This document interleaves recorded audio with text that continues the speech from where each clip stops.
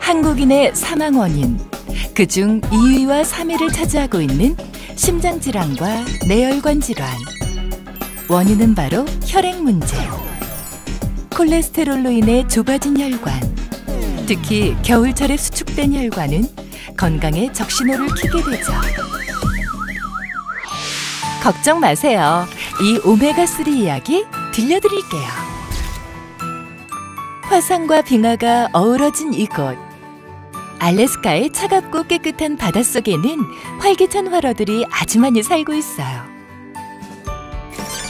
그 중에서도 이 물고기는 알래스카 폴락이라고 해요.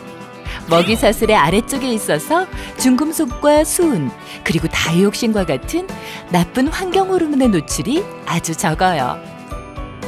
그래서 당신의 건강 지킴이 애터미에서는 모두의 건강을 위해 청정 지역 알래스카를 닮은 이 오메가3를 만들었어요. 하루 두 캡슐로 EPA와 DHA 700mg을 먹을 수 있고 섬세한 오일 정제 기술로 어취를 줄여 깔끔하기까지. 또 다른 캡슐보다 사이즈가 작아 어린이도 안심하고 쉽게 먹을 수 있다고 해요.